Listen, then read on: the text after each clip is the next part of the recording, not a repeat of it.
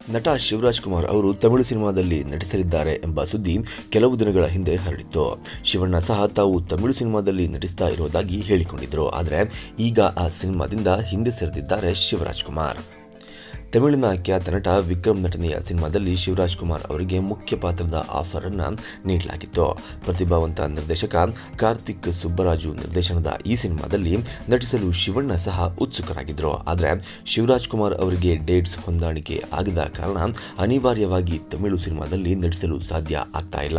ಶಿವರಾಜ್ ಕುಮಾರ್ ಅವರು ಹಲವು ಸಿನಿಮಾಗಳನ್ನು ಒಪ್ಪಿಕೊಂಡಿದ್ದು ಅವುಗಳನ್ನು ಬೇಗ ಮುಗಿಸುವ ಕಾರಣದಿಂದ ತಮಿಳು ಸಿನಿಮಾಕ್ಕೆ ಒಲ್ಲೆ ಅಂತ ಹೇಳಿದ್ದಾರೆ. ಈ ಹಿಂದೆ ಕಾರ್ತಿಕ್ ಸುಬ್ಬರಾಜು ಇಂದ ಕತೆ ಕೇಳಿದ್ದ ಶಿವರಾಜ್ ಕುಮಾರ್, ಕಾರ್ತಿಕ್ ಸುಬ್ಬರಾಜು ಅವರ ಈ ಹಿಂದಿನ ಸಿನಿಮಾಗಳನ್ನು ನೋಡಿದ್ದೇನೆ. ಈಗ ಅವರು ಹೇಳಿರುವ ಕತೆ ಸಹ ಅದ್ಭುತವಾಗಿದೆ. ಸಾಕಷ್ಟು ಭಾವನಾತ್ಮಕ ದೃಶ್ಯಗಳು ಸಿನಿಮಾದಲ್ಲಿದೆ. ನಾನು ಆ ಸಿನಿಮಾದಲ್ಲಿ ನಟಿಸಲು ಉತ್ಸುಕನಾಗಿದ್ದೇನೆ ಅಂತ ತಿಳಿಸಿದ್ರು.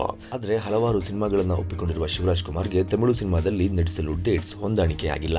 ಈಗ ಕೈಲಿರುವ ಸಿನಿಮಾಗಳನ್ನು ಸಹ ಬೇಗನೆ ಮುಗಿಸುವ ಒತ್ತಡ ಇರುವ ಕಾರಣ ಸಿನಿಮಾದ ಅವಕಾಶವನ್ನು ಒಲ್ಲದ ಮನಸ್ಸಿನಿಂದ ನಿರಾಕರಿಸಿದ್ದಾರೆ ಶಿವರಾಜ್ ಕುಮಾರ್.